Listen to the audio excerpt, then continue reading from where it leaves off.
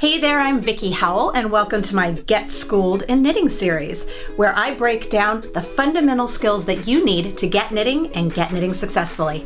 Let's see what we're going to learn today.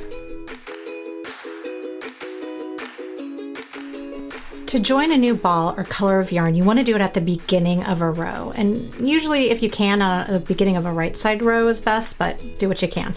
So to do that, you're going to just drop your first color, just let it hang loose and lovely, and then go to knit your, your first stitch. You're to insert your needle, then you pick up the other color. Make sure you leave a long enough tail for weaving in later. And you're just going to lay it across the needle, the last or the right hand needle, and then knit the stitch as you would normally.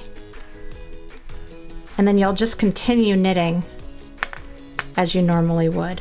And you might have to give this a little tug so that the tails aren't all loose and crazy. But don't knot it because there are no knots in knitting, my dears. And then from there you would just cut the other yarn and, and weave it in later.